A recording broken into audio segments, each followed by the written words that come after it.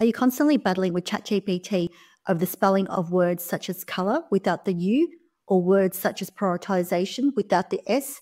In this video, I want to show you how you can change the language settings from American English to an Australian English. So let's get started. Okay, now once you've logged into your account, over on the right hand side, you'll see your name here. So click on your profile image and then select settings. Now, one of the first things you'll notice here is the option for language. So it's currently set to auto detect. So if we use the drop down box here, you will notice that there's an option here for US English. However, if we scroll down, you can see here that there are lots of language that you can select from. So for an example, you can select Indonesia. You can also select from a number of other language options that you can see here. However, there is no option here to be able to select Australian English. So what you can do is you can change the language by adding in a custom prompt. So if we select on personalization here, under custom instruction, turn this on. So under custom instruction, there's a note here to say, what would you like ChatGPT to know about you to provide a better response? So here I've just typed in, I'm from Australia, so please write in Australian English and do not use US English.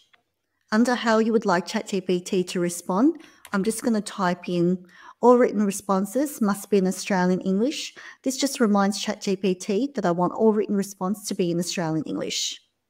If you want, you can also provide ChatGPT more information in terms of your style, who you are, and also how you want it to respond. And then once you're done, hit save.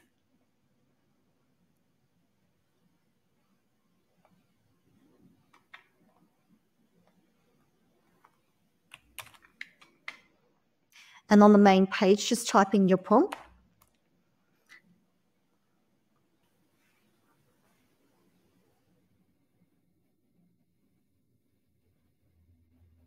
And here ChatGPT will respond back in Australian English.